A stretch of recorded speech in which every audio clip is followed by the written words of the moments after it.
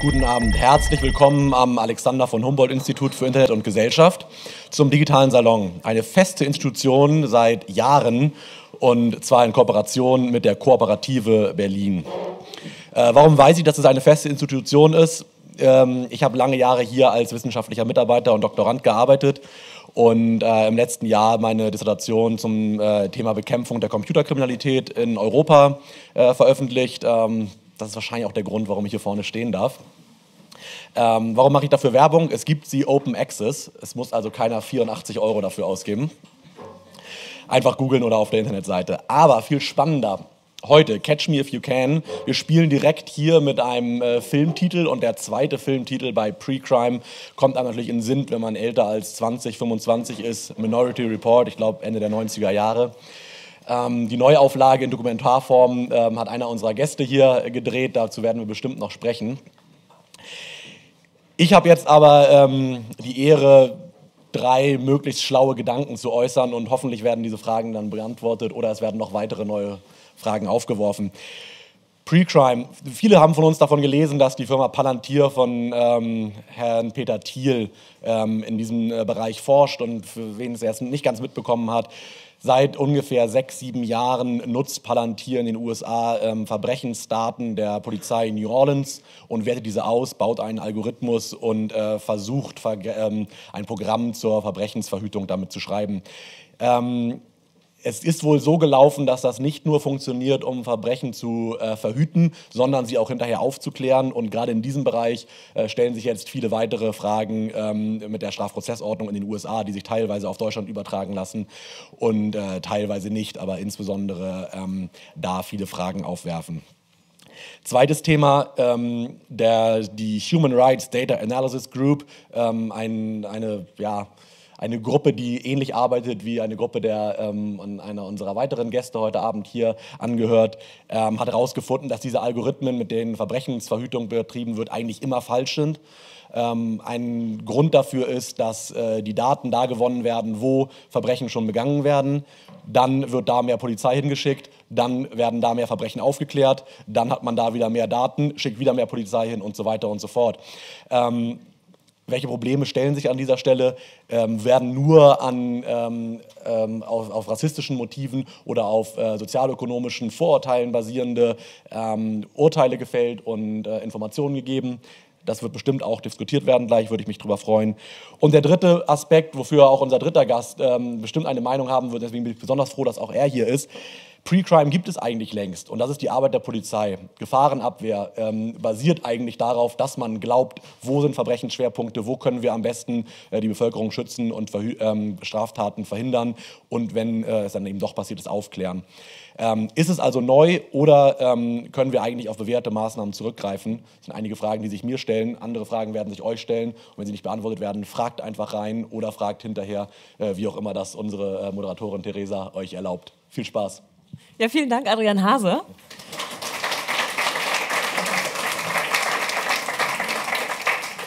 Und Adrian hat ja jetzt auch schon gesagt, worum es geht. Also der heutige digitale Salon steht unter dem Motto Catch Me If You Scan. Wir wollen also über Predictive Policing sprechen, also über die Vorhersage von Verbrechen mittels Software. Und äh, wie ihr alle seht, ich bin ja nicht alleine da. Die drei Gäste hier neben mir sind auch noch da.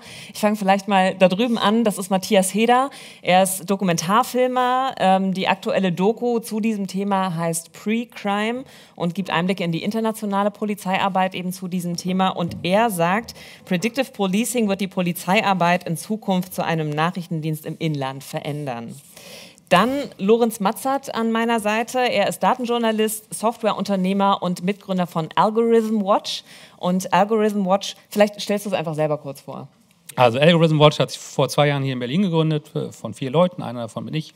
Ähm, ich mache es ganz kurz. Und wir kümmern uns um automatisierte Entscheidungssysteme oder Automated Decision Making ähm, und die Konsequenzen, Auswirkungen auf Gesellschaft. Und ich werde bestimmt das eine oder andere heute Abend noch erzählen. Dazu. Genau. Und ich habe auch noch ein schönes Stichwort zu dir. Ähm, du sagst nämlich, wenn ich könnte, würde ich die Datenanalysefähigkeiten der Polizei regelmäßig von einer unabhängigen Kommission überprüfen lassen. So, da kommen wir vielleicht noch zu. Dirk Peglo, sicherheitshalber gebe ich das schon mal kurz weiter. Ah, sehr gut.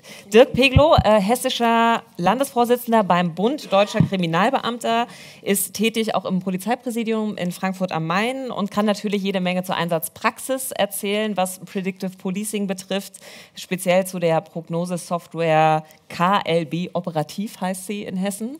Und er sagt, die Debatte über Predictive Policing in Deutschland ist zum Teil von der Angst beherrscht, dass die Polizeibehörden einer Datensammelwut unterliegen würden. Und die kann er aus seiner beruflichen Praxis aber erstmal nicht bestätigen. Richtig? Richtig. Sehr gut. Und, ah, da kommt schon gleich eine Frage. Wo ist denn unser, unser Mikrofonmensch? Der? Keine Frage? Okay, keine Frage. Es hat sich alles schon erledigt, aber das ist sehr gut, dass wir da bei diesem Stuhl sind. Denn der Stuhl ist nicht umsonst leer. Ähm, ich würde mich total freuen, wenn noch jemand vielleicht Lust hat, zu diesem Thema mitzudiskutieren. Dafür ist dieser offene Stuhl gedacht. Vielleicht ja sogar noch eine Frau, die äh, noch unterstützend zu diesem Podium mit dazukommen würde. Aber auch alle anderen sind willkommen. Gibt es jemanden, der sich traut? Setz dich dazu und stell dich einmal kurz in dieses Mikrofon vor. Wer bist du? Hallo, Test, ja. Äh, ja, mein Name ist Martin Lehmann. Ich bin Anwendungsentwickler, das heißt, ich bin Programmierer und zwar bei der Stuttgarter Lebensversicherung ähm, aus Stuttgart und ich mache, ja, ich sage mal so, ich mache vieles auf Mainframes, also alte IBM äh, Großrechner, wie man sich so vorstellt und äh, wir sind gerade in Berlin und machen an so einem Projekt mit, das heißt InsurHub. Äh, mein Kollege ist noch da, Henrik von der Provinzial Nordwest und bei, um, bei uns soll es ums Thema Digitalisierung gehen. Äh, da sind wir immer montags bis mittwochs hier und wir hatten den Tipp bekommen, dass man hier auch was Neues erfahren kann in allen Bereichen. Und da ähm, sind wir jetzt nach der Arbeit einfach mal hier und ja, wollen hier mit, mitdiskutieren. Dann sind wir sehr gespannt. Vielleicht fangen wir einfach mal damit an, was Predictive Policing eigentlich Stand heute so bedeutet. Was können wir uns darunter vorstellen? Vielleicht fangen wir mal bei Matthias Heder an. Ja, geht. Ja, schönen guten Abend auch. Ähm, Ausgangspunkt des Films, den wir gemacht haben über Predictive Policing, war eine Nachricht aus der Zeitung, die darüber berichtete, dass ein Algorithmus der Chicagoer Polizei eine Liste von 400 Bürgern erstellt hat. Und diese 400 Bürger wurden beschrieben als eine hohe Risikogruppe, entweder Gewalttaten selbst zu begehen oder eben äh, Opfer von Gewalt zu werden. Aus diesem Moment heraus ist das ganze Projekt entstanden. Und was wir begriffen haben, war, es gibt auf der einen Seite, und das ist sehr stark in den USA und in, in Großbritannien vertreten, es gibt wirklich diese auf Einzelindividuen zielenden Softwareprogramme, die tatsächlich Listen mit Namen erstellen und diese Listen und Namen und Personen werden dann von der Polizei aufgesucht und darauf hingewiesen, dass sie auf dieser Liste sind. Und das andere, was weniger aufregend ist, ist eben diese Art von äh, Predictive Policing oder voraus präventive Polizeiarbeit, die auf die, die auf die äh, auf Einbruchsdiebstahl in erster Linie zielt und diese Projekte werden jetzt hier in, in Deutschland allmählich umgesetzt. Bayern ist der Vorläufer in der Bundesrepublik. In den USA sind diese Programme äh, gang und gäbe. Also Sie finden kein, kein, kein Polizeidistrikt, keine amerikanische Großstadt, äh, die nicht die eine oder andere Form dieser Softwareprogramme äh, einsetzt für ihre tägliche Arbeit. Dirk Peglo, ähm, die Einbruchsdiebstahl-Software ist schon äh, angesprochen worden, weil das ist auch das gängige Instrument sozusagen in Deutschland. Ähm, ich habe es vorhin schon gesagt, die KLB Operativ-Software ist es äh, in Hessen. Was genau macht die?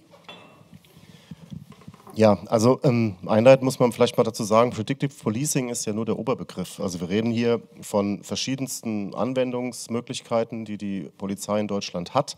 In ähm, Hessen haben wir KLB. KLB heißt Kriminalitätslagebild, nur dass das auch mal übersetzt wird. In, so ein so, schöner, sperriger ja, Begriff. Ja, genau. Kriminalitätslagebild.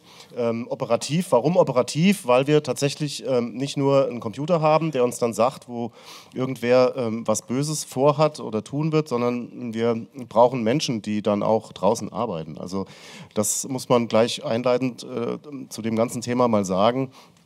Es ist eigentlich immer nur ein ganzheitlicher Ansatz, den wir fahren. Also das ist einerseits natürlich eine Verwendung von Daten, die wir haben, die dann mit bestimmten Systemen ausgewertet, mit Analyseplattformen ausgewertet werden. Aber am Ende des Tages brauchen wir Kolleginnen und Kollegen, die dann auch draußen arbeiten, also die dann tatsächlich auch äh, auf der Straße rumlaufen, fahren äh, und die Ermittlungen führen. Also es ist immer noch Handwerk. Und ich glaube, das muss man so ein bisschen entzaubern.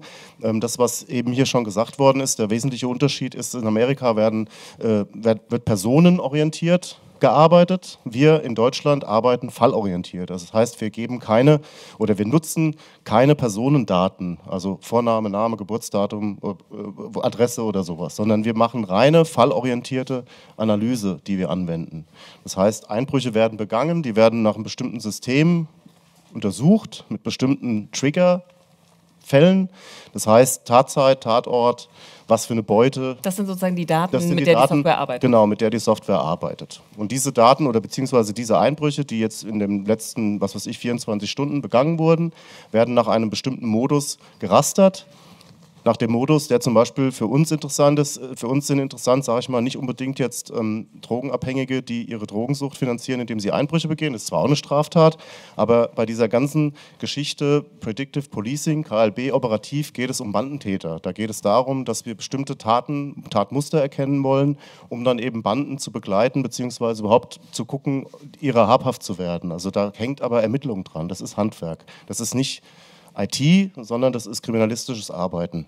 Aber woher kommen jetzt die Daten? Also wie kommen die Daten in die Software? Ist das doch was jemand, wo ein äh, Beamter am Schreibtisch sitzt und dann händisch diese Daten in die Software eintippt und die spuckt dann ein Ergebnis aus? Oder wie kann man sich das vorstellen? Ja, das ist eine ganz normale Strafanzeige. Also Bürgerinnen und Bürger, die Opfer eines Einbruchs wurden, erstatten eine Strafanzeige. Deswegen ist das Deliktsfeld des Einbruchs auch ähm, sehr gut dafür, weil das eine keine oder fast keine Dunkelziffer hat. Ähm, also der Einbruch wird in fast allen Fällen angezeigt. Schon mal allein deswegen, weil das Versicherungs versicherungsnotwendig ist, dass eine Hausratversicherung auch entsprechend äh, den Schaden ersetzt. Und so haben wir im Prinzip kein Dunkelfeld. Beim Raub zum Beispiel oder bei Sexualstraftaten ist das Dunkelfeld sehr hoch. Das heißt, die Anzahl der Taten, die ich überhaupt analysieren kann, sind, äh, sage ich mal, nur ein kleiner Teil dessen, was tatsächlich passiert. Insofern geben wir ganz normal, was die Strafanzeige, wenn die erstattet wird, werden diese Daten eingegeben. Das heißt, wir analysieren Daten, die nur rechtmäßig erlangt wurden und auch nicht nur die Tatorte, so wie ich es eben dargestellt habe. Die werden automatisch quasi recherchiert, werden dann in Steckkartensystem eingegeben, also Google Maps vielleicht vergleichbar. Und wir haben dann stellen dann fest, es sind bestimmte Schwerpunkte, es werden bestimmte Taten begangen, die nur an U-Bahn-Linien, an Autobahnausfahrten das gibt also bestimmte Möglichkeiten, wie wir das Ganze auswerten. Entscheidend ist, wie gesagt, sind diese Parameter, diese Triggerwerte, die wir haben, dass wir sagen, okay, wir gehen äh, nicht darauf, dass jetzt irgendwelche Fernseher rausgeholt werden, dass Scheiben eingeschmissen werden, sondern wir gehen zum Beispiel auf den Modus operandi, also wie ist die Tatbegehung, wird gehebelt, wird Fensterbohrer, gibt es äh, so eine Tatbegehungsweise und das sind im Prinzip Anhaltspunkte dafür, dass es sich um Banden bzw. professionelle Täter handelt. Und das ist genau das, was wir auswerten.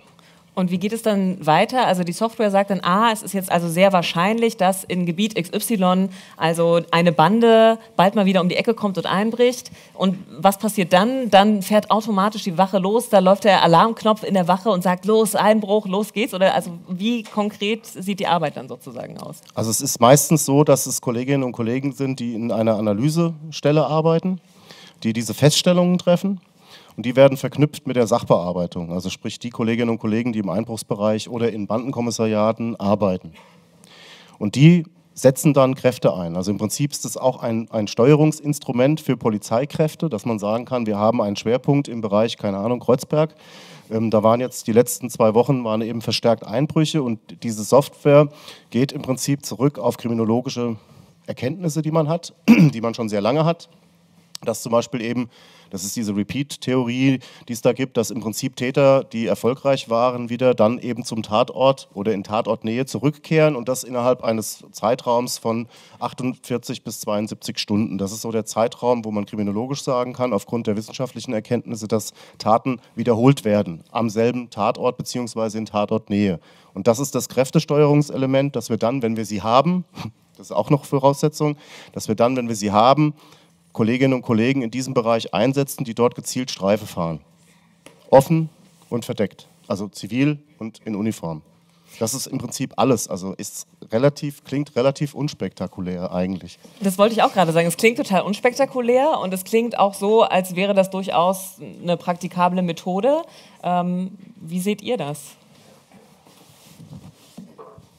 Also was dieses, dieses Verfahren angeht, soweit ich weiß, ist es bislang auch noch nicht klar, ob es wirklich wirksam ist. Also es gibt, soweit ich weiß, bislang eine unabhängige Studie dazu vom Max-Planck-Institut. Die haben äh, den Einsatz in Baden-Württemberg untersucht ähm, von so einem anderen System. Ähm, das heißt, glaube ich, Precops. Ähm, das wird auch in Thüringen und so eingesetzt. Und die haben aber nur ein halbes Jahr untersucht und konnten jetzt erstmal nicht wirklich sagen, dass das äh, großartig was verändert hat. In Baden-Württemberg ist aber die Einbruchssituation auch relativ gering. Also ich glaube ganz anders als beispielsweise in Nordrhein-Westfalen eine Zeit lang war. Ähm, also, und es ist ja, klang ja schon an, es ist relativ triviale Statistik, die da passiert, ähm, die wahrscheinlich jemand manuell auch machen könnte. Also soweit ich jetzt verstanden habe, wie so Systeme funktionieren. Ich finde einen anderen äh, Aspekt aber wichtiger, ähm, wo der, glaube ich, nicht in der Form klar ist, was so Predictive Policing angeht. Wir haben ja mittlerweile eine stärkere Vermischung von Geheimdiensten und Polizeiarbeit. Ne? Wir haben zum Beispiel in Berlin ja ein gemeinsames Lagezentrum, wo eigentlich diese Gewaltenteilung äh, aufgelöst wird oder auch dieses Kooperationsverbot. Und dort werden ja auch sogenannte Gefährder identifiziert. Und da ähm, ne? also so zum Beispiel islamistische Gefährder etc. Und da spielt immer mehr Software auch eine Rolle. Und äh, soweit ich weiß, ist sehr wenig darüber bekannt, was diese Software eigentlich angeht, wie die funktioniert, ob die eben überhaupt äh, sozusagen erprobt ist, ob die evaluiert ist, ob die nicht so sozusagen auch ganz viele sozusagen Daten erfasst, die eigentlich gar nicht erfasst werden dürfen und so weiter. Und das finde ich so ein bisschen das größte Problem bei solchen Software, dieses sagen wir, Wohnungseinbrüche ist, ähm, könnte man jetzt auch sagen, ist eine PR-Aktion. Es betrifft ja in der Regel Wohnungseinbrüche eher besser situierte Bürgerinnen und Bürger. Also es passiert ja, glaube ich, eher weniger in, in ja, also soweit ich das über Nordrhein-Westfalen weiß, sind das Gegenden, wo Leute wohnen, die eigentlich in der Regel ein Eigenheim haben ne? oder Eigentumswohnungen etc. und nicht gerade eben in Siedlungen, wo Leute mit wenig Geld leben. Würde ich ja als Bande auch nicht machen. Ich breche natürlich da ein, wo ich am meisten Gewinn erzielen kann, würde ich jetzt mal vermuten, dass Banden so operieren.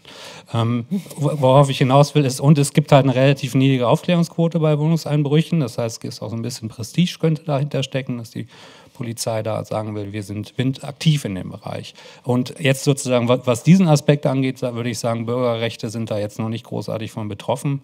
Ähm, aber wie gesagt, wir haben ja dieses sozusagen die Mentalität oder diese ähm, Idee des Predictive Policing auch schon in analoger Form. Das klang ja vorhin schon an. Also, dass Polizei natürlich versucht, äh, Kriminalität zu verhindern, ist äh, ein Teil ihrer Aufgabe.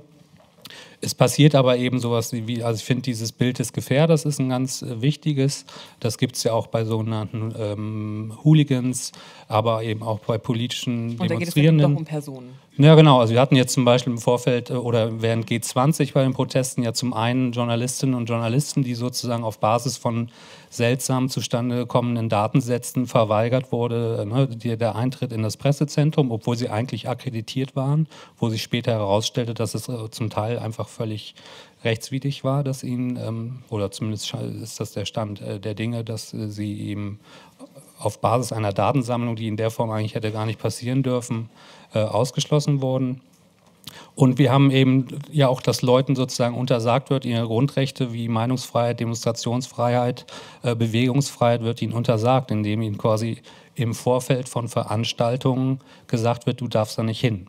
Und das ist rechtlich natürlich sehr problematisch, weil es gibt ja erstmal, das ist ja sozusagen dann wirklich schon diese Dystopie, dass Leute quasi unterstellt wird, du wirst ein Verbrechen begehen.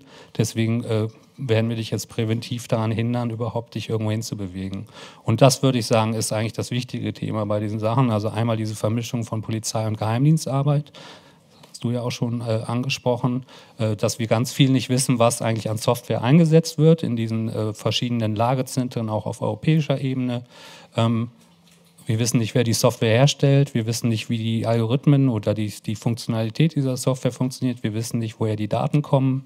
Ähm, und wir wissen nicht, an wen die Daten weitergegeben werden.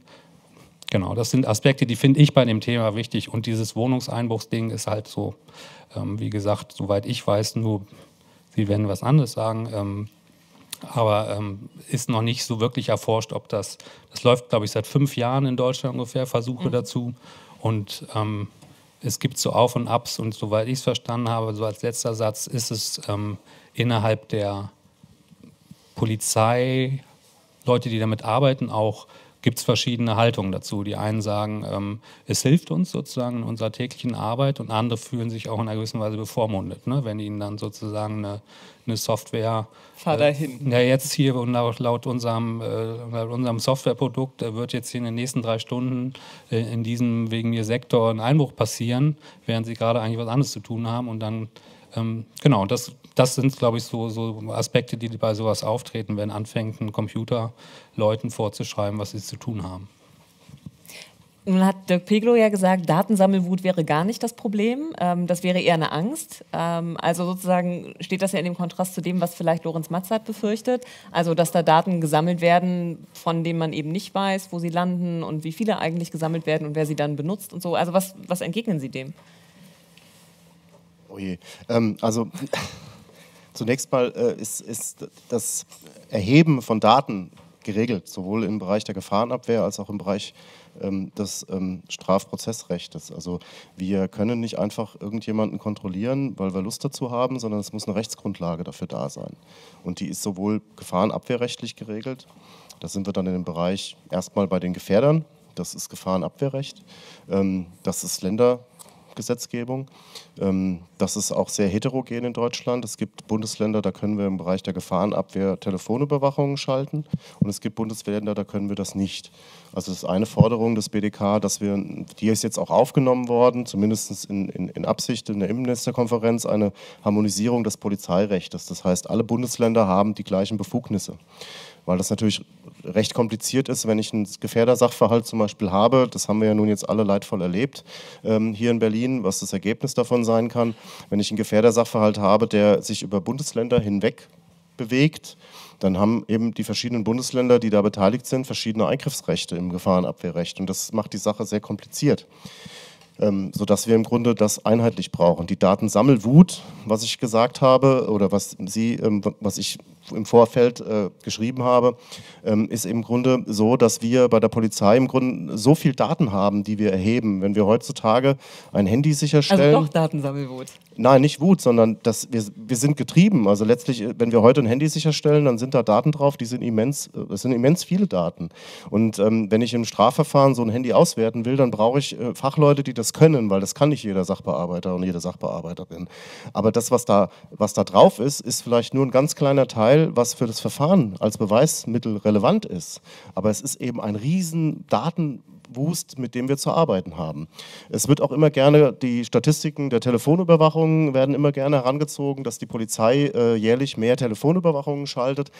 Aber das ist halt nun mal heute so, ähm, als ich äh, vor vielleicht 18 oder 20 Jahren in diesem Bereich der verdeckten oder der Ermittlungsführung in, in Banden und, und organisierter Kriminalität begonnen habe, da hatten wir Beschuldigte, die hatten halt eben ein Festnetztelefon und ein Handy, wenn es hochkam. Und heute haben wir Beschuldigte, die haben sieben bis zehn Handykarten, äh, die sie abwechselnd nutzen. Ähm, ergo müssen wir auch sieben bis zehn Handykarten schalten. Ergo geht die Zahl der Telefonüberwachung natürlich nach oben. Aber das sind ein Beschuldigter. Und das war eben vor vielen Jahren noch anders. Also letztlich kann ich nicht sagen, wenn ich einen Beschuldigten habe, der so viele Karten nutzt, ja, kann ich natürlich nicht sagen, ich äh, höre jetzt mal nur, wenn ich denn die Befugnis habe, und das sind immer Beschlüsse von Richtern. Also die Polizei sagt nicht selber, wir wollen jetzt mal das Telefon abhören, sondern das ist immer ein Beschluss, ein richterlicher Beschluss. Das heißt, ein Staatsanwalt prüft es und eine Richterin oder ein Richter prüft es und er erlässt einen Beschluss zur Überwachung einer Telekommunikationseinrichtung.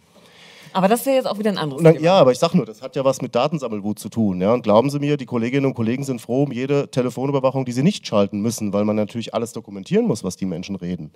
Und das ist natürlich eine Riesenarbeit. Und ähnlich sieht es aus mit eben, ähm, ob ich jetzt die Vorratsdatenspeicherung nehme oder ähnliche Fälle, da können wir gern drüber reden. Aber letztlich, vor was hat der Bürger oder die Bürgerin Angst? Das muss man fragen. Und das hängt oft oder sehr oft, sehr viel damit zusammen, dass die Leute vielleicht gar nicht so genau wissen, was machen die eigentlich. Ja, was heißt das überhaupt, wenn wir eine Funkzelle auswerten oder sowas? Ja, was ist Vorratsdatenspeicherung? Was, was sammeln die da? Ja, das sind keine SMS, kein WhatsApp-Chat, keine Telekommunikation oder Sprachübertragung, sondern das sind einfach nur ganz feste Datensätze, die wir da auswerten. Also ich, um es zusammenzufassen, ich bin der Meinung, dass da die Angst sehr groß ist und dass man die nehmen kann, indem man einfach mal polizeiliche Arbeit erklärt, soweit man es eben darf. Aber das ist, denke ich, in vielen Fällen schon im Internet nachzulesen, was wir machen. Von daher denke ich, wir brauchen Software. Also gerade diese Pre, äh, Pre-Cops oder diese, diese äh, Analyse-Tools, die wir haben.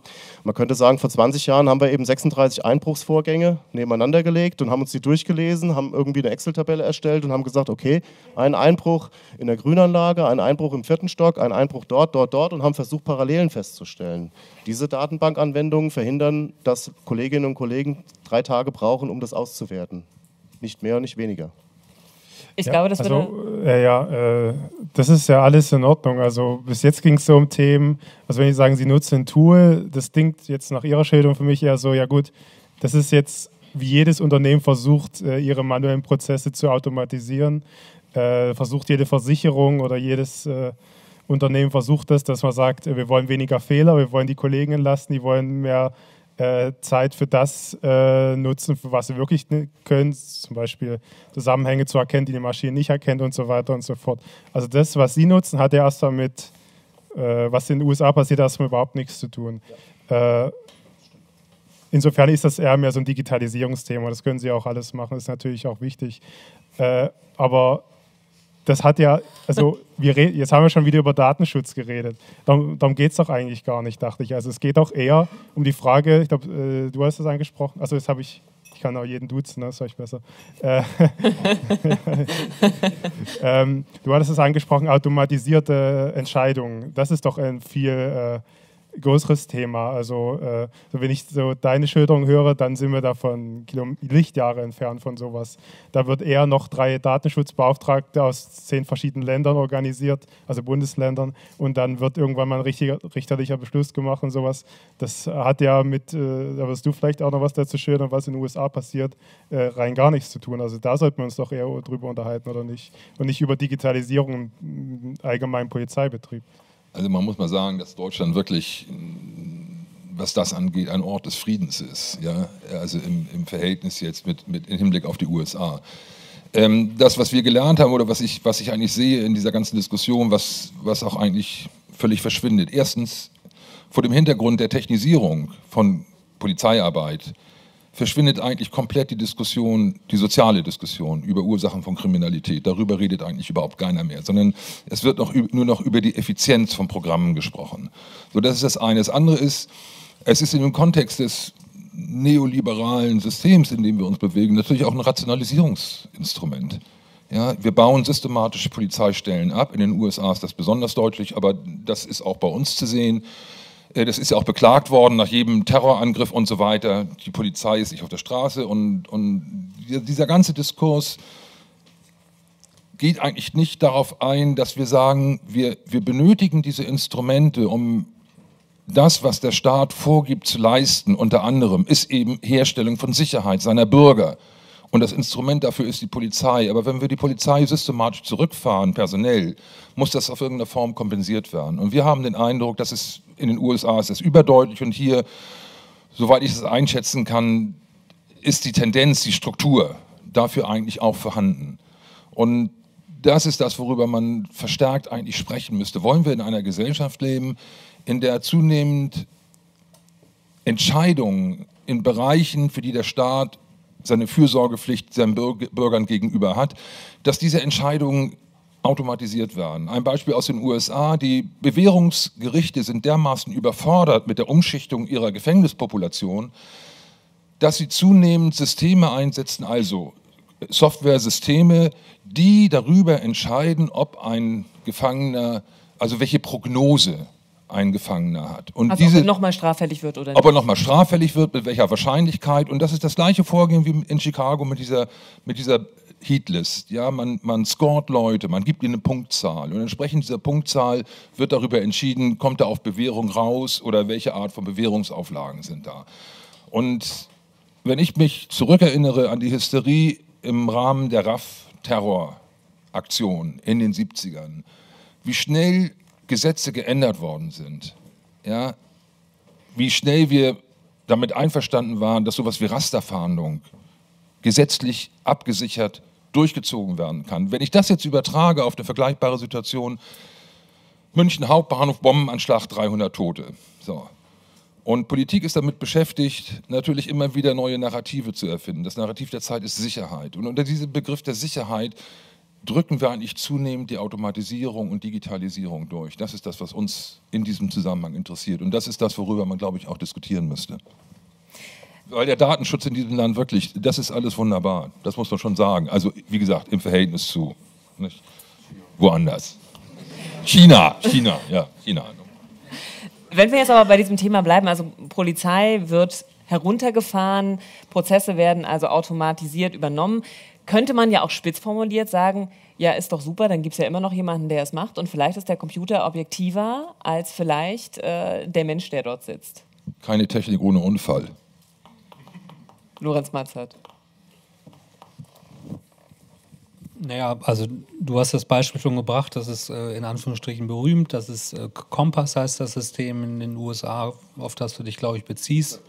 Es gibt auch Kompass, das kenne ich zumindest, ähm, das ist ähm, so ein System, das wird dann in verschiedenen Formen, Ebenen des Strafprozesses eingesetzt, eben unter anderem auch für Bewährung, ähm, Prognosen. Das also entscheidend tut das immer noch ein Mensch, also in der Regel ein Richter, ob jemand da freigelassen wird oder nicht.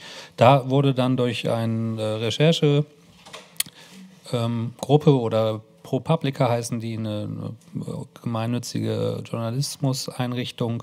Die haben äh, das recherchiert und durch eine Informationsfreiheitsgesetzanfrage einen Datensatz einer ähm, einer Gemeinde in den USA bekommen und konnten dadurch sozusagen nachvollziehen, wie wirklich die ähm, Rückfallquoten waren dieser Leute, die da freigelassen wurden, beziehungsweise nicht und konnten dann nachweisen, dass dieses System äh, quasi ein Bias äh, enthielt, also quasi den Rassismus reproduziert hat, den, der sich da eh in den Daten widerspiegelt. Ne? Es ist ja bekannt, dass in den USA äh, Schwarze in der Regel viel öfter ins Gefängnis kommen als Weiße für die gleiche Tat, beispielsweise Drogenkonsum oder Drogenhandel. Obwohl der sozusagen unabhängig von der Hautfarbe ist, sind, sitzen viel mehr schwarze Menschen dort im Gefängnis als ähm, Weiße für Drogenkonsum beispielsweise. Ähm, also es gibt sozusagen institutionellen Rassismus ähm, und der wird, findet sich dann in den Daten natürlich auch wieder. Und wenn ein System mit diesen Daten lernt, reproduziert es eben diese, diesen Rassismus auch. Ähm, und was ich wichtig finde an diesem Aspekt, also ich würde auch sagen, wir sind zurzeit, ist es in Deutschland verhältnismäßig äh, harmlos, was geschieht.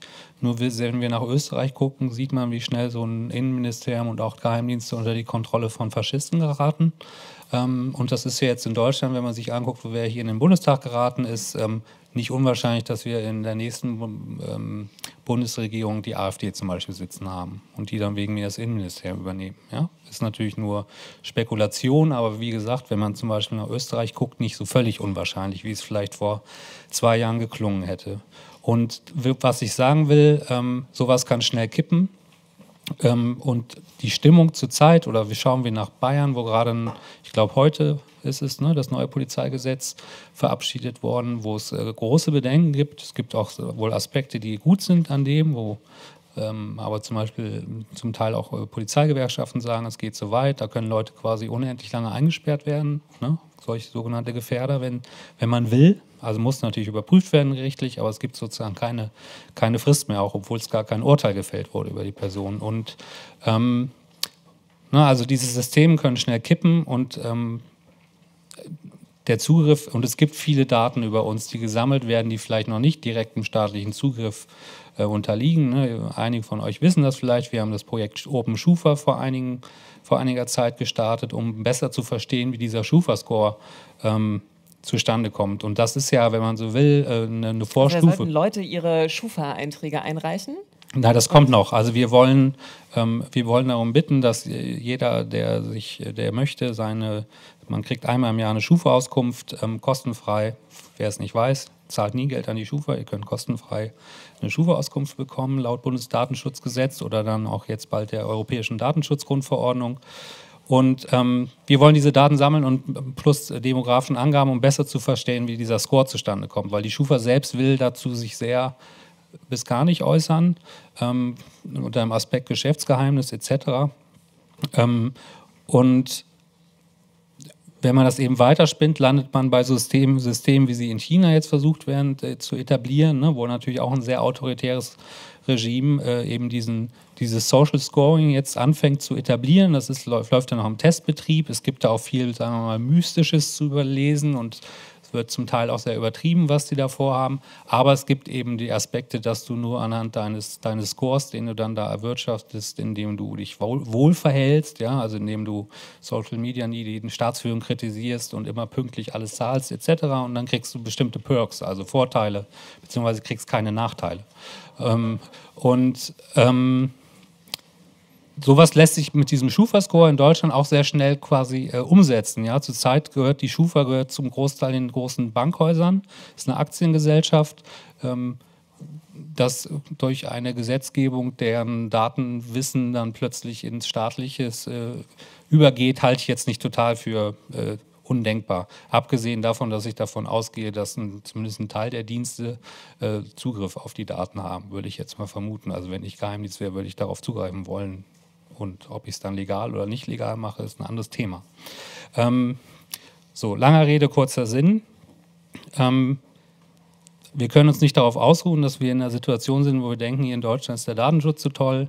Es gibt einfach eine, glaube ich, eine unzählige Latte an Beispielen, wo Daten einfach in, geleakt werden, aus Dummheit einfach veröffentlicht werden, ähm, wo die Systeme einfach schlecht gebaut wurden und ähm, wir vor allem ganz wenig vorhersagen können darüber, was Technologie in fünf, in zehn und in 20 Jahren kann. Ja, das ist, glaube ich, mit, mit einer der wichtigen Aspekte. Wir hätten uns vor 20 Jahren, glaube ich, eben nicht ausdenken können, wie heute äh, die Digitalisierung die Gesellschaft verändert. Also nicht mal ansatzweise. Zumindest ich nicht vor 20 Jahren.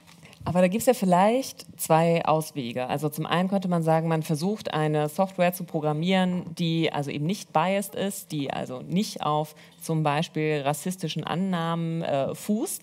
Die Frage ist natürlich, wie gelingt das? Also kann man einen neutralen Algorithmus tatsächlich programmieren? Also ist das möglich? Also ich habe du hast das, glaube ich, eingangs erwähnt. Jetzt, wenn ich für meine Organisation spreche, unser, äh, sagen wir mal, Status zurzeit ist, wir rufen noch nicht nach Regulierung. Wir sagen, wir wissen über die meisten Sachen eigentlich viel zu wenig, ähm, bevor wir sagen wollen, wir müssen jetzt unbedingt ein Gesetz oder sowas machen. Oft gibt es vielleicht sogar schon Regulierung, die man anpassen könnte. Plus, es wird mit sehr großer Wahrscheinlichkeit nicht ein Gesetz geben, was alles erschlägt, sondern weil die ganzen Branchen, in denen automatisierte Entscheidungen eine Rolle spielen, also wo Software mit oder komplett äh, autark entscheidet über gesellschaftliches, gesellschaftliche Vorgänge, äh, sind so spezifisch für Branchen, für bestimmte Technologien, dass es äh, mit großer Sicherheit dann sehr genau angepasst wird. Also so die Forderung nach so einem Algorithmen-TÜV oder so, die ab und zu laut wird, halte ich äh, also A, für zu Aber wer macht das dann? Macht ihr das dann bei Algorithm Watch? Also meine, meine also hoffentlich nicht. ähm, also hoffe ich. Ich weiß nicht, meine Kolleginnen und Kollegen sehen das vielleicht anders. Ähm, aber dann ähm, geht es mir ein bisschen so wie den äh, Polizistinnen und Polizisten, die froh sind, wenn sie nicht noch einen äh, über Telefon überwachen müssen. Aber ähm, naja, ich denke, ähm, jetzt, aber das ist wie gesagt noch zu früh. Das ist jetzt so, was ich mir vorstellen könnte oder was ich gut fände. Ähm, äh, entweder Stiftungen, ja, also es braucht ja eine Unabhängigkeit von den staatlichen Stellen, aber es braucht natürlich auch eine Finanzierung von sowas. Ähm, und es braucht natürlich Leute, die das können. Also das Problem ist, ähm, ja, viel der Sachen, die mit Daten schiefgehen, passiert ja nicht zuletzt aus ähm, Unkenntnis ja?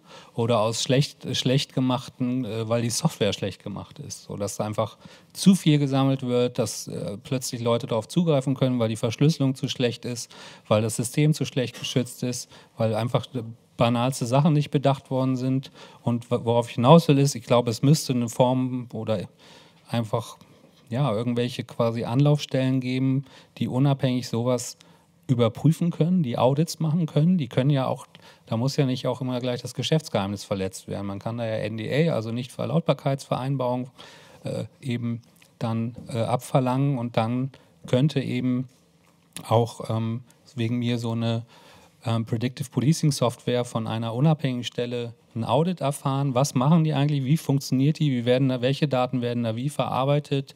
Wer hat darauf Zugriff? Und so weiter und so fort. Und Aber dann schreiben die darüber einen Bericht wegen mir oder ja, und, und, und dann gibt es eine Regelung, dass das einmal im Jahr geschehen muss, weil die Software wird ja in der Regel auch weiterentwickelt. Das heißt, sie muss in irgendeiner Form immer wieder überprüft Aber was werden. ist denn da die Konsequenz? Also ich sag mal, bei einer Software auf dem freien Markt, die würde vielleicht so ein Prüfsiegel bekommen und dann sagt sich jemand, vielleicht im Zweifel, okay, diese Software kaufe ich nicht mehr, ist ja jetzt anders bei der äh, Polizei, dann steht da vielleicht drauf von einer äh, irgendeiner Institution, die nennen wir ihn den Algorithmus-TÜV, die äh, der gesagt hat, die Software ähm, KLB ist nicht so, wie wir uns das wünschen. Also hätte das überhaupt einen Effekt? Ähm, also im Grunde werden ja die polizeilichen Systeme ähm, ohnehin auf den Prüfstand gestellt, im Aufschreibungsverfahren und auch in der Errichtungsanordnung für eine Datei. Also der Betrieb einer Datei bedarf einer Errichtungsanordnung und das hat auch... Was bedeutet das? Dass quasi genau das gemacht wird. Es wird geguckt, nach welchen Möglichkeiten oder wie werden welche Daten erhoben ähm, was ist, ähm, sage ich mal, das Berechtigungskonzept, was hinterlegt wird, nach welchen Kriterien werden Daten erhoben, wie werden die eingestellt und wie lange sind sie zu speichern, welche Löschfristen haben wir, also das wird alles genau vorgegeben. Also Sie können Aber Hessen, das ist nur polizeiintern, äh, diese Prüfung. Das, das, kann man nicht ja, öffentlich ja. Also ich meine, da ist immer der Daten, Datenschutzbeauftragte beteiligt. Da will ich kurz was zu sagen. Ich glaube, das ist äh, der, der Punkt. Es werden, wird immer viel über Daten geredet, aber nicht über die Datenverarbeitung. Und dieses Beispiel aus, aus den USA mit dieser äh, Software, die eben ähm, vorher oder Empfehlungen gibt, wer auf Bewährung freikommen soll oder nicht. Ähm,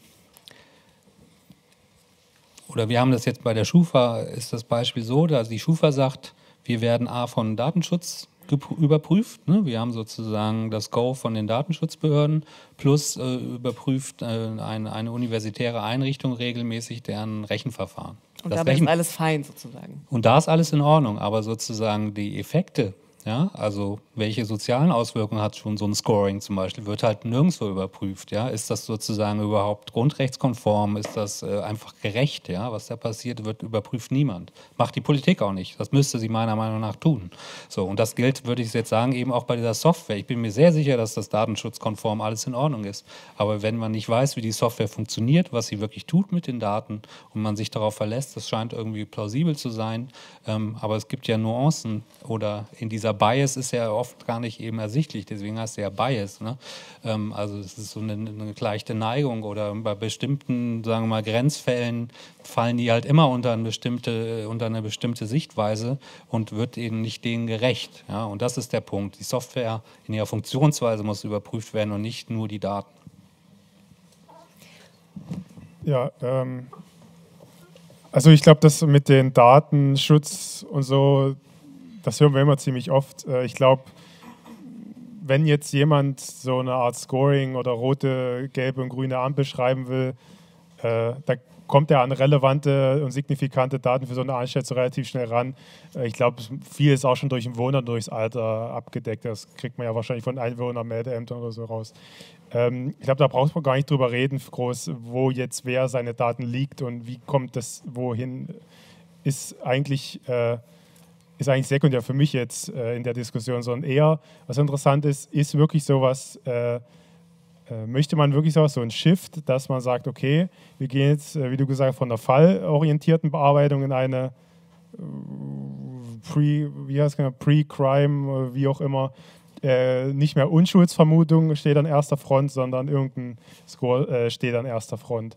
Und viele Leute haben da natürlich bedenken, aber die Frage ist, äh, es gibt ja immer einen, einen, Mittelweg, also zwischen jetzt und dem Minority Report. Ich weiß nicht, ihr kennt ja wahrscheinlich viel den Film, da geht es ja darum, dass ja, ja kann ich jetzt nicht alles sagen, aber ja, geht es ja im Prinzip darum, dass jemand schon sozusagen verurteilt wird, bevor er überhaupt was gemacht hat. Und äh, wir stehen ja noch relativ am Anfang und man soll sich doch eher überlegen, genau, äh, was hat es äh, für Sozialaspekte und wie gehen wir damit allgemein um. Äh, was da jetzt nun genau für ein Algorithmus und welche Stelle das wäre, das ist eigentlich egal. Ich würde die Frage also, gerne genau an Matthias Heder geben. Das, das finde ich nicht, das ist eben nicht egal. Ich glaube schon, dass da, wo Algorithmen eingesetzt werden, also von, von der öffentlichen Hand her, dass diese Algorithmen einfach einer Kontrolle unterworfen sein müssen. Insofern, also der demokratischen Kontrolle. Insofern, als das wir haben zum Beispiel Accenture, das ist die Firma, die mit der Polizei in London zusammen äh, äh, so, ein, so, ein, Programm entwickelt hat und die haben eine Datenbank, die heißt Matrix und die dient in erster Linie zur Bekämpfung von Banden. Okay? Und die Banden sind natürlich alles Schwarze oder zu 80 Prozent. Und wir haben versucht, mit den Leuten zu reden, die reden nicht mit uns.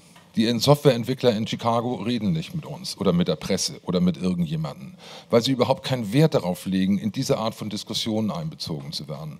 Ich glaube, und, und, die Chicagoer Polizei sagt genauso wie die Münchner Polizei, wir wissen nicht, wie der Algorithmus arbeitet. Ich bin Polizeibeamter, was interessiert es mich? Was aus seiner Perspektive ja auch richtig ist. Aber irgendjemand sollte es interessieren. Und insofern glaube ich schon, man kann das nennen, wie man will, aber diese, diese, diese Vorstellung, und das dringt ja auch so langsam in die politische Agenda ein, dass Algorithmen einer Kontrolle unterworfen sein müssen, damit wir verstehen, was da passiert. Und es muss vor allen Dingen irgendeine Art von, von Widerspruchsrecht geben. Also wenn ich auf der schwarzen, auf der No-Fly-Liste lande, habe ich keine Möglichkeit des Widerspruchs, weil es überhaupt es gibt keinen Ansprechpartner dafür. Und wenn diese Art von so Anonymisierung, ja, also wir landen auf Listen und es gibt aber nichts, wogegen wir uns, also an wen können wir uns eigentlich wenden, außer wir bezahlen einen Rechtsanwalt. Also dass diese, diese Dinge sind jetzt im Übergang und noch glaube ich, dass zumindest für uns hier ist die Zeit noch, noch da und das auch regulierend einzugreifen und aus den Erfahrungen, wie sie in den USA gemacht werden, zu lernen. Das, das finde ich schon sinnvoll. Was bedeutet das denn für die Menschen, die zum Beispiel eben auf so einer Heatlist stehen? Also wir haben einen jungen schwarzen Mann, 23, Robert McDaniel. Was hat er gemacht? Der hängt mit seinen Jungs, seitdem er acht Jahre alt ist, hängen die zusammen auf der Straße rum, weil es gibt auch sonst keinen Ort für sie. Die haben gekifft, die haben getrunken und die haben Glücksspiele, also Würfelspiele, Kartenspiele. Dafür werden sie immer wieder in diesem Zusammenhang aufgegriffen. Das wird protokolliert, das geht ein in, in, in, in die Datenbank, in die Datensammlung der Chicagoer Polizei. Und da er zusammen mit seinem besten Freund immer wieder verhaftet worden ist und als sein Freund ermordet wurde, erschossen wurde, landete er automatisch ja, in dem Scoring nach oben. Er war plötzlich hochgefährdet. Was das für ihn bedeutet hat, ist folgendes. Die Polizei kommt in Begleitung eines Sozialarbeiters bei ihm zu Hause vorbei und sagt, pass auf, wir haben dich auf der Liste, erstens. Und zweitens, hier ist unser Sozialarbeiter, äh, wenn du Hilfe brauchst. So. Der Sozialarbeiter ist reine Makulatur, der hat nie geholfen. Er hat auch keine Angebote zu machen, weil es gibt kein Geld in den USA dafür. Was das aber bedeutet hat für Robert war, wenn Sie in Austin, in Texas, in, in, in Chicago leben, das sind nur Schwarze, und es kommt die Polizei und Sie werden nicht verhaftet, dann heißt das, dass Sie mit denen kooperieren. Und wenn sie mit der Polizei kooperieren, sind sie isoliert innerhalb ihrer Nachbarschaft. Das heißt, die Tatsache, dass er auf dieser Liste stand, die Polizei und vorbeigekommen ist, führte zu der Explosion seiner sozialen Beziehung. Seine Frau hat sich getrennt, er seine, hat seine Kinder verloren, sein, mit seiner Mutter ist er im ewigen Streit, die Nachbarn meiden ihn. Das ist das, was für ihn dabei rausgekommen ist. Und das ist nur ein Fall. Aber das würde ja bei der, würde auch in 70er ohne Computer wäre das doch auch ein realistisches Szenario gewesen die Polizei hätte ja auch wissen können, dass er öfters mit ihm rumgehangen hat. Also was, warum ist jetzt der Algorithmus böse? Ich sage nicht, dass der Algorithmus böse ist. Ich sage, dass man wissen muss, wie ein Algorithmus arbeitet, der ein, eine Person wie Robert McDaniel auf eine Liste setzt. So, das ist der entscheidende Punkt. Verstehen Sie, wenn, wenn jemand wegen Grasrauchen und Alkohol auf der Straße trinken, äh, in den, also in, in den polizeilichen Zusammenhang gerät, und die Polizei dann zur Verbrechensbekämpfung ein System entwickelt, das basiert auf der Netzwerktheorie, nach der Kriminalität ansteckend ist wie eine Krankheit, und man das in einen Algorithmus verarbeitet und die Datenbanken der Chicagoer Polizeibank, äh, Polizeidatenbank daraufhin durchforstet und arbeiten lässt und er spuckt Namen aus. Ich meine, liebe Leute, ja, ich möchte nicht in einer Gesellschaft leben, wo ein Computer darüber, äh, wo ein Computer oder ein Programm meinen Namen ausdruckt mit einer Punktezahl im Zusammenhang von Kriminalität oder später vielleicht von Versicherungen oder Krankheit oder was weiß ich. Ich meine, das ist doch einfach idiotisch. Also vielleicht sollte man mal unterscheiden, weil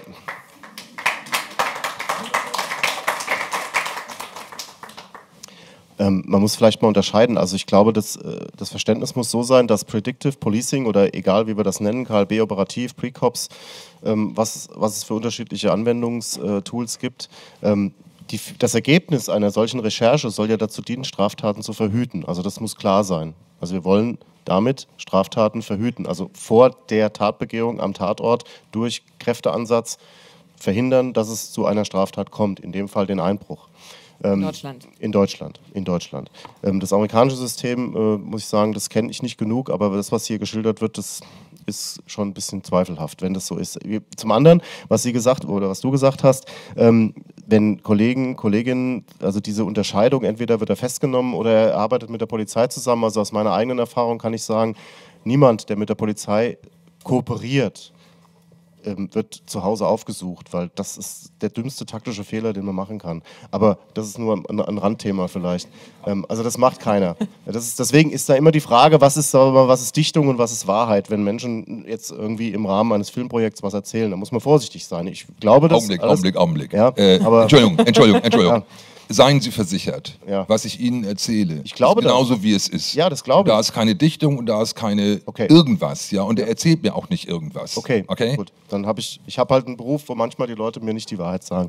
Ähm. Und ich bin Filmemacher und ich bin Filmemacher seit 30 Jahren im Geschäft und Sie können mir vertrauen. Okay.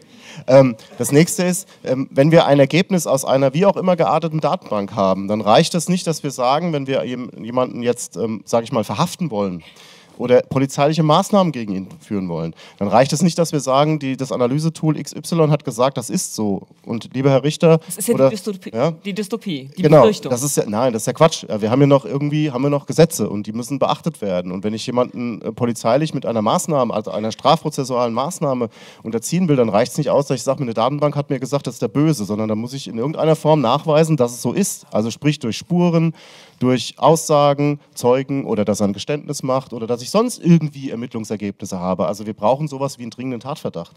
Ja? Und der ist, sag ich mal, der muss begründet werden. Da reicht es nicht aus, dass ich sage, irgendeine Datenbank sagt mir, der ist es. Also es wird kein Staatsanwalt und kein Richter mitmachen. Also wir haben hier schon ein, ein Schuldstrafrecht, das muss man sehen. Ja? Wir haben kein Gesinnungsstrafrecht. Und ich glaube, da liegt schon, da muss man, das muss man unterscheiden. Und polizeiliches Arbeiten ist eben Mosaik, ist immer mehr, ist nie immer nur äh, Predictive Policing oder nur DNA oder nur Fingerabdrücke oder nur Aussage. Es ist immer ein Mix aus ganz verschiedenen Maßnahmen, die man eben kennen muss, anwenden können muss und vor allen Dingen zielgerichtet anwenden muss. Es haben sich lauter kleine Händchen hier hochgereckt. Genau. Das ist der Konrad. Der Konrad trägt Mikrofone für uns. Wir fangen einfach mal da hinten an und machen vielleicht mal so die, die Reihe rum zu den drei Herren. Hallo, wer bist du? Hallo, ich bin der Christian. Ja. Okay, testet. Ähm, wenn ich einem Richter jetzt mal jetzt nicht bei Wohnungseinbrüchen, sondern bei Terrorismus vor, vorlege, der Computer hat eine Gefährdung festgestellt, welcher Richter sagt denn dann, nee, dann ermittelt da mal nicht? Also das ist doch, also wenn, wenn ich einem Richter sage, der Computer hat gesagt, da liegt eine Gefährdung vor und das ist bester Stand der Technik, dann wird der Richter wahrscheinlich das irgendwie schon gewichten, oder? Ähm, der Computer sagt mir ja nicht, da liegt eine Gefährdung vor, sondern da muss ein Kriminalbeamtin oder ein Kriminalbeamter dahinter stehen, der das prüft. Und da reicht es nicht, dass ein Computer das sagt. Das, die Systeme, die es da gibt, die sind quasi, das ist hier vorhin schon mal angeklungen, die sollen so einen Prüfmechanismus hinterlegen. Dass, also Amri zum Beispiel wäre so ein Fall gewesen, wo man hätte bestimmte Kriterien in der Datenbank hätte verarbeiten können, dass dann im Grunde so eine Datenbank sagt, da ist eine Gefahr da oder nicht untechnisch ausgedrückt. Aber man muss unterscheiden. Gefährder, da sind wir im Gefahrenabwehrrecht. Das ist ein Unterschied. Ja? Das heißt, wenn ich eine Person habe, die im Verdacht steht, ein Gefährder zu sein, dann bin ich noch nicht in der Strafverfolgung. Da bin ich zunächst mal am Anfang im Bereich des Gefahrenabwehrrechts. Das ist das Polizeirecht. So, da ist natürlich auch in verschiedenen Fällen muss ein Richter eine Entscheidung treffen. Aber grundsätzlich sind wir in einem ganz anderen Bereich. Und bei einer, bei einer Straftat, also dann, wenn der Richter vorge äh, vorgehen muss, dann haben wir im Grunde genommen einen Straftatbestand, ob das jetzt die Vorbereitung einer staatsgefährdenden Gewalttat oder ähnliches ist, Mitgliedschaft in einer terroristischen Vereinigung, dann habe ich einen Tatbestand. Und dann muss ich definiert an dem, was ich möchte, an der, an der Eingriffsbefugnis, muss ich einen Grad eines Tatverdachtes nachweisen. Der geht vom einfachen Tatverdacht über den dringenden, ja, also beim Haftbefehl zum Beispiel dringenden Tatverdacht. Und da brauche ich schon ein bisschen was. Und da reicht es nicht aus, wenn ich dem Richter sage, ich habe eine Datenbank, von der ich nicht weiß, wie sie arbeitet, aber die sagt, der ist es. Also das ist Blödsinn. Das wird auch die nächsten, denke ich mal, 10, 20 oder noch mehr Jahre, hoffe ich zumindest, nicht passieren. Also wir müssen immer noch, es ist immer noch kriminalistisches Arbeiten, es ist immer noch ju juristisches Denken, was dahinter liegt ist und auch vor allen Dingen Bürgerrechte, die gewahrt werden. Und das muss man immer sehen. Also es wird niemand in den Bereich einer terroristischen Vereinigung einfach so gerückt, wenn wir nicht dringende Gründe dafür haben, die das eben auch belegen. Wir hatten hier, glaube ich, noch dazu eine Meldung. Nein, dann aber hier vorne. Und da hinten auch noch? Wir machen erstmal da hinten und dann kommen wir nach vorne. Wer bist Hallo. du? Hallo, mein Name ist Rainer Reak. Ich bin vom Forum Informatikerin für Frieden und gesellschaftliche Verantwortung. Also ich bin selber auch Informatiker. Ähm, ich habe zwei Bemerkungen und zwei Fragen ans Plenum. Also erstmal Bemerkungen von wegen Errichtungsanordnung. Also vor zwei Jahren gab es die Situation, dass die, ähm, ähm, die Datei politisch motivierte Kriminalität links mal von damalig Peter Schaar angeguckt worden ist. Äh, und danach mussten 95 Prozent aller Einträge gestrichen werden. Also so viel zu äh, dem Vertrauen in die Anordnungen. Ähm, ähm, zweiter Punkt, ähm, Vorratsdatenspeicherung. Also wenn man die Vorratsdatenspeicherung zusammenbringt mit den Listen der angemeldeten Demonstrationen, kriegt man wunderbar Teilnehmerlisten von allen Demonstrationen. Also ich finde das keine gute Idee. Äh, jetzt zum Thema, Entschuldigung. Ähm, und zwar wenn, wenn ich ähm, sozusagen so eine Systeme modelliere, die Frage war ja, gibt es da das richtige System? Also wenn man bei solchen Systemen sowas wie Schadenssumme mit rein modellieren würde, dann würde natürlich die Polizei immer nur in den Bankenvierteln patrouillieren. Ne? Also die Frage, was, was, welche Art von Verbrechenswertung, sozusagen die Anzahl der Opfer, spielte das eine Rolle oder eben wie gesagt die Schadenssuppe, das ist ja eine Entscheidung, die getroffen werden muss. Da gibt es, glaube ich, kein richtig oder kein falsch. Da gibt es so ein bisschen so dieses No-Free-Lunch-Theorem, was sagt, für, es gibt kein Modell, was in allen Fällen das Beste ist. Und da ist ganz klar äh, so eine, Entscheidungsfrage. Da würde ich sozusagen gerne mal einen, Kommentar hören, ob diese Modellannahmen da auch reflektiert werden in der Polizeiarbeit. Das ist, glaube ich, eine ethische Frage, die vielleicht ja auch für das gesamte ja, Podium spannend genau. wäre. Ähm, und die letzte Sache, ähm, also die zweite Frage, ähm, ich habe auch gelesen, wie sozusagen von den Polizeibeamtinnen und Beamten diese Art von Software angenommen wird. Und da ist, kann man ganz klar sehen, je näher an der Straße, sozusagen an der echten Beinarbeit die Leute sind, umso weniger schätzen werden, wird sozusagen der Einsatz solcher Software geschätzt und je weiter man oben sozusagen im, man würde vielleicht Management in Neudeutsch sagen, äh, umso größer kommt die Zustimmung. Und da ist meine Frage, liegt es daran, dass die Oberen besser wissen, wie gut das eigentlich funktioniert oder liegt es daran, dass die Unteren besser wissen, dass es nicht funktioniert? Dankeschön.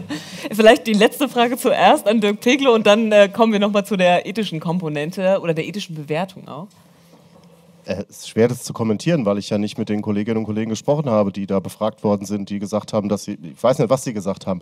Ähm, also ich kann mir nicht, also es gibt ganz viele Kritik oder beziehungsweise ja doch Kritikpunkte in der ganzen Nummer. Aber ähm, die Menschen, die sich damit beschäftigen tagtäglich, sagen eigentlich, es hilft uns in der Vorgangsbearbeitung in der Form, dass wir eben, so wie ich das vorhin erklärt habe, nicht mehr 36 Fälle nebeneinander legen müssen und dort eine Systematik erkennen sollen.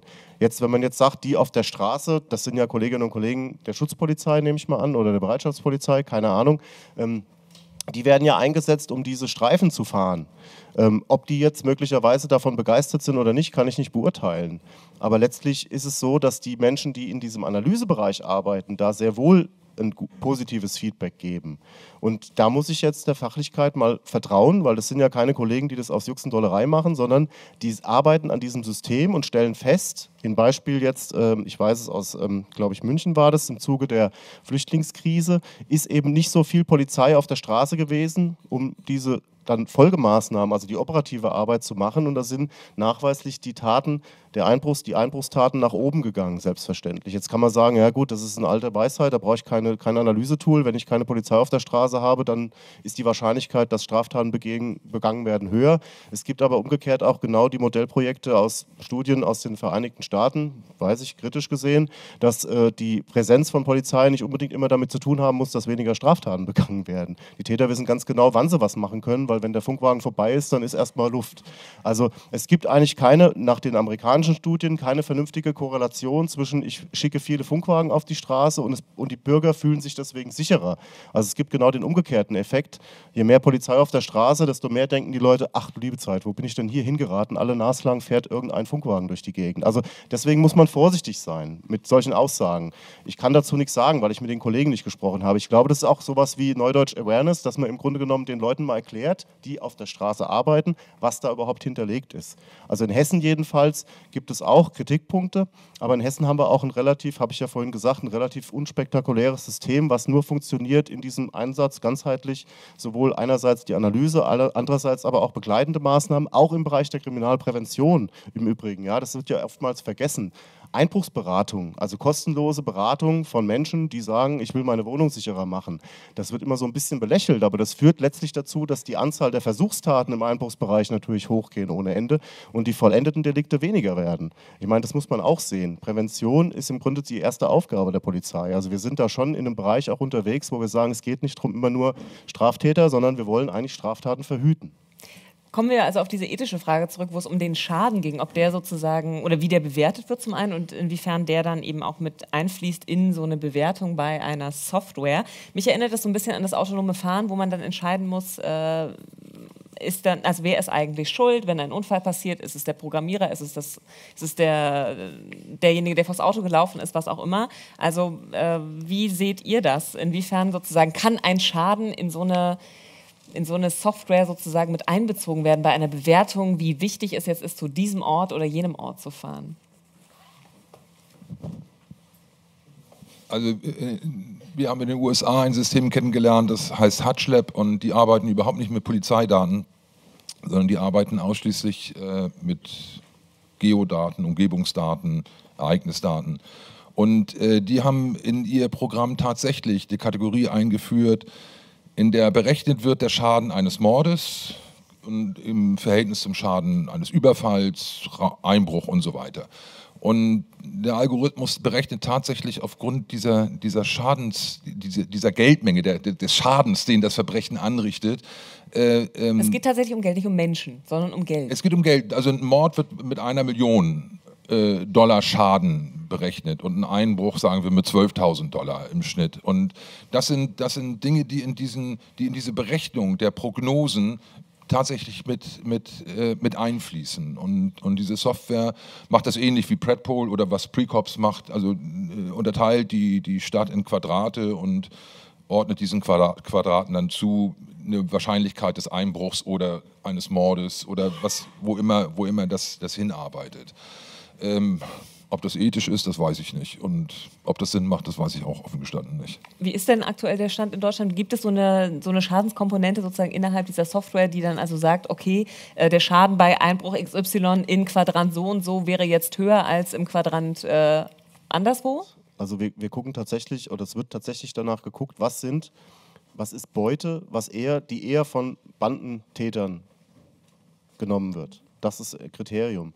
Ähm, Kreditkarten sind zum Beispiel schlecht äh, zu verkaufen, unheimlich schwierig an den Mann und an die Frau zu bringen. Deswegen ist das zum Beispiel ein Kriterium, wo man sagt, Kreditkarten, wenn jemand Kreditkarten klaut, schwierig.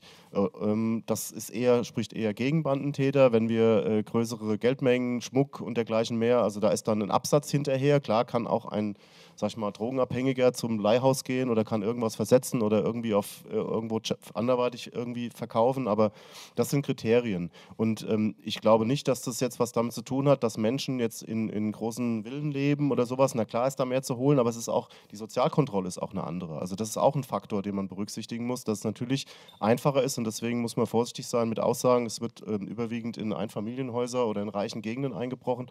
Ähm, moderne oder professionelle Einbrecherbanden haben im Grunde genommen kein Problem, weil die machen auch nicht lang rum. Auch die Art und Weise des Angehens, also Modus operandi, wie lange braucht jemand oder schmeißt einer nur eine Scheibe ein, das sind Sachen, professionelle Täter probieren, hebeln, wenn es nicht geht, hören sie auf und gehen zum nächsten. Das, und deswegen ist dieses mit dem Willen-Geschichten, das muss man vorsichtig sein. Da wäre ich kriminologisch äh, vorsichtig, so eine Aussage zu treffen. Mehrfamilienhäuser werden sehr gerne angegangen, weil die Sozialkontrolle nicht Aber so da kommen wir vielleicht auch schon wieder in ein anderes Thema rein. Ich würde gerne zur letzten Frage noch kommen. Ja, mir scheint ähm, die, Thomas, mein Name, äh, die Frage weniger relevant, äh, ob Algorithmen am Werke sind oder menschliche Vorurteile. Denn Irren ist menschlich, diesen Spruch kennen wir ja auch sehr äh, genau.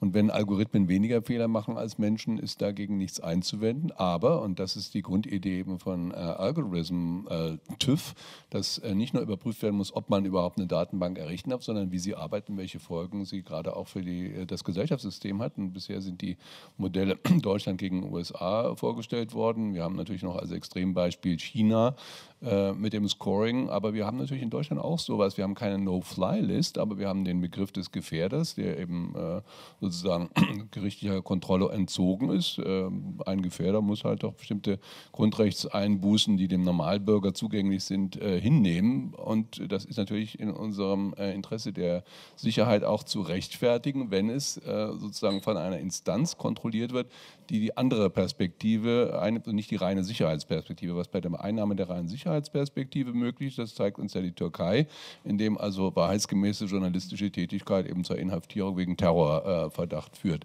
Da äh, glaube ich, ist es jetzt äh, unsere Aufgabe, ähm, eben so einen TÜV, äh, einen Algorithm Watch äh, TÜV einzuführen und da, äh, glaube ich, müssen wir sehr dankbar sein, sowohl dem Filmemacher Moritz als Mastert hat doch eine Aufgabe gewonnen. Ja, ja.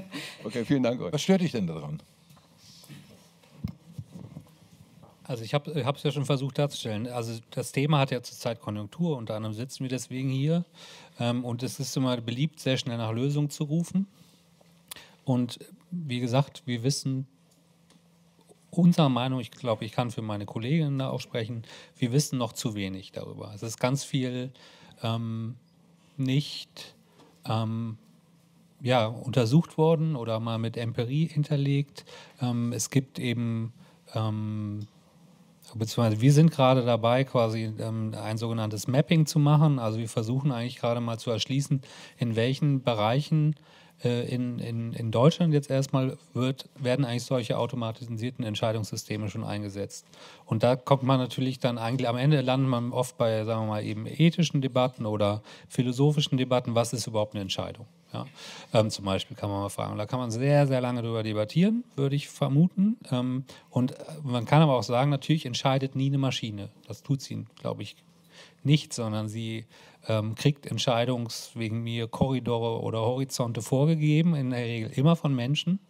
Ne? Ob mal sehr simpel äh, entstanden oder in sehr komplexen äh, Designprozessen, wo ja, autonomes Fahren hast du schon angesprochen. Am Ende des Tages ist in so einem, in, auch in diesem Uber-Auto, was jetzt gerade eine Frau überfahren hat, ähm, vor drei Tagen, war das, glaube ich, oder vor einer Woche. Mhm. Da waren natürlich sind irgendwie an diesem System wahrscheinlich tausende Menschen ähm, beteiligt gewesen. Das, und die da zum Teil, und das offenbar, also was man ja weiß, hat die Software stumpf versagt. Ja? Also das war auf offener Straße, eigentlich hätte das LIDAR-System, also dieses Radarsystem. Das könnte bei Predictive Policing natürlich auch passieren. Genau, also und ähm, wie gesagt, bei diesem Wohnungseinbruch-Ding ist jetzt das Risiko, wo dass da irgendwie das Grundrechte eingeschränkt werden, relativ niedrig. Aber ähm, ne, ich habe es schon gesagt, du hast ja auch angesprochen, die es gibt ja unterschiedlichste Motivationen. Es gibt Firmen, die wollen ihr Softwareprodukt verkaufen. Ein Teil von euch, die hier seid, werdet vielleicht früher oder später mal an solchen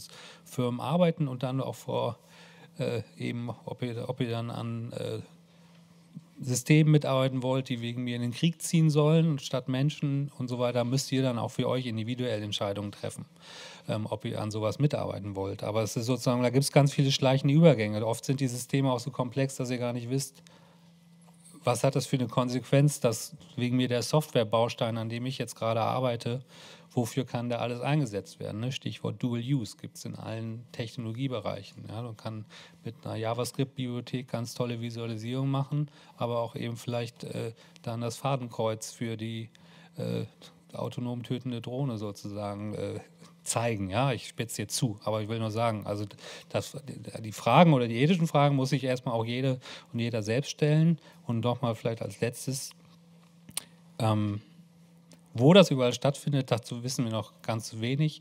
Wir sind bei dem Punkt, dass wir merken, es findet eigentlich fast überall statt, wo ein Prozessor beteiligt ist, ja, weil da sind, ist, der läuft mit Software und es sind teilweise sehr triviale Dinge. Das ist gerade so unser Lieblingsbeispiel nimm eine Ampel, eine Ampelschaltung, die ist natürlich eigentlich ein ganz simples äh, Softwareprodukt. In der Regel heute passiert das nicht mehr mit Relays, aber diese Ampel, im, die implementiert eine Verkehrspolitik, zum Beispiel einer Kreuzung. Ja? Werden Autos bevorzugt oder Fußgänger?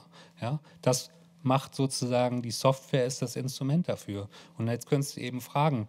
Ne? Also, und, das kann, und solche Beispiele findest du ohne Ende, wenn du erstmal anfängst, mit diesem, diesem, diesem Blick darauf zu gucken.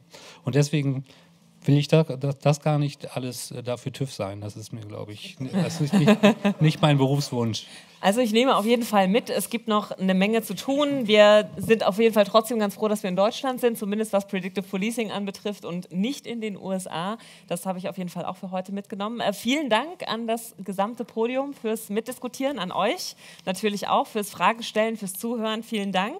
Und äh, wir sehen uns, hören uns beim nächsten digitalen Salon wieder. Das ist am 25. April, wie gewohnt, also der letzte Mittwoch immer im Monat. Da geht es dann um das Motto Directed by Data. Was passiert, wenn deine Playlisten von gestern die Filme von morgen bestimmen? So, das war es aber jetzt erstmal für heute mit Predictive Policing. Es gibt das Ganze auch nochmal zum Nachschauen als Livestream, wenn ihr vielleicht unsere Veranstaltung nochmal irgendwo teilen wollt, auf der Seite des HIIG. Und einen Podcast wird es auch noch geben, der heißt dann Digitale Safari und gibt es bei Audible. Vielen Dank, dass ihr alle da wart.